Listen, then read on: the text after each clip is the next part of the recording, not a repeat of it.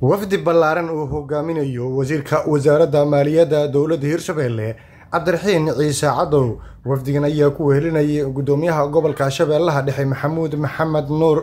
masdile ayaa si diiran loogu soo dhoweeyey degmada ceelbaraf ee gobolka shabeellaha dhexe waxaana halkaa ku soo dhoweeyey shacabka qaybihiisa kala duwan barbaarta gaashaaman iyo gudoomiyaha degmada ceelbaraf ee gobolka shabeellaha dhexe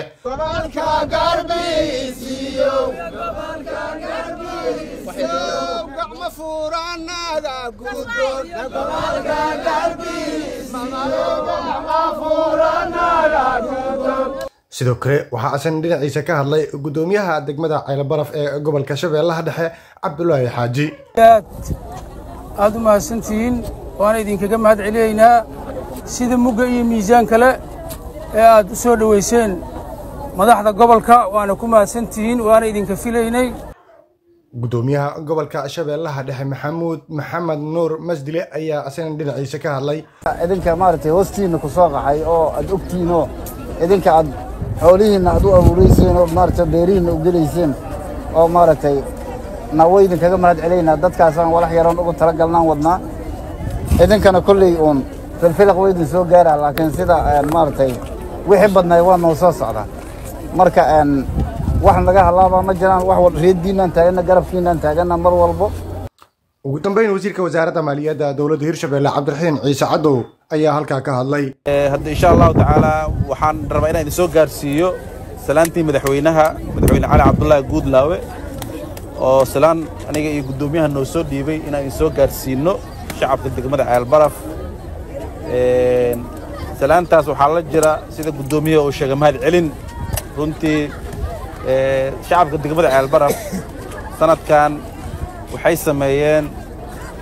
dadaal aad u dheer dadaal aad u xoog badan dadaal aad u qiimo badan. Dadkii idinku soo qaxay oo walaalihiinna ahaa oo soo barakacay sidaa u soo dhowayseen u gacan siiseen guryihiinna u dejiseen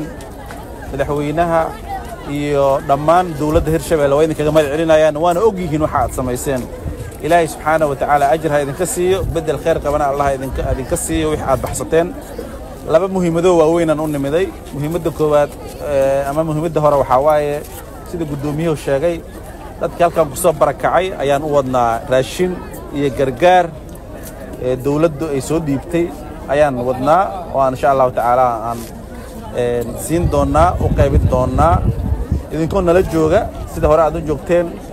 dadkii halkan ka shaqaynayey guddiyadii dhallinyarada gabdhaha ee wiilasha ahay iyo odayaashii ee dadku wanaagsanay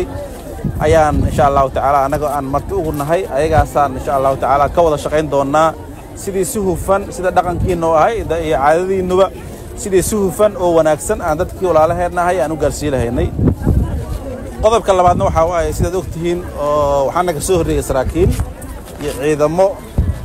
dawladda ka socday oo taliyaha ciidanka booliiska hirshabeelle uu hogaaminayay oo idinla jooga waayahan oo califool dheere ciidanku degan yahay oo halkaan yimiday oo dhammaan deegaanada maray in aan abaabulkaas xoojinno oo aan adkayno sidii cadowga hunguriga yarhaayo aan uga sifayn lahaynay meelaha ay ku harsan yihiin annagoo la kaashanayna dowladdeenna federaalka ah iyadoo dowladda hirshabeelle ay qaadanaysa mas'uuliyaddeeda hogaamineed. Cabduli maxamed soomaali cable t v jowhar shirkadda somnet telecom waxay ku haysaa for g internet xawaaro sare leh iyo xirmooyin qiimo jaban. Somnet telecom waa isgaarsiinta jiilka cusub. Shirkadda beeko waa shirkadda ugu weyn ee bixisa adeegga korontada soomaaliya. Beeko waxa ay koronto siisaa inta badan koonfurta soomaaliya sida banaadir jubbaland hirshabeelle iyo koonfur galbeed. Beeko waxa ay siisaa adeeg koronto oo dhammaystiran. Dhammaan toddobiiyo tobanka degme ee gobolka banaadir iyo goobaha ugu waaweyn magaalada muqdisho sida ayrboorka aadan cadde dekedda muqdisho iyo dhammaan safaaradaha iyo hay'adaha caalamiga ah